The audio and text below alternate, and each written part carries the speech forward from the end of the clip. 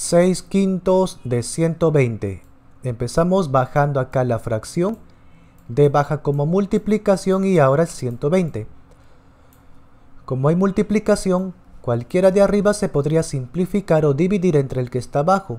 Y conviene elegir a 120 porque entre 5 es división exacta. 120 entre 5 es 24. Ahora 6 multiplica a todo esto, o sea, 6 por 24, 144. Así que esta sería la respuesta final.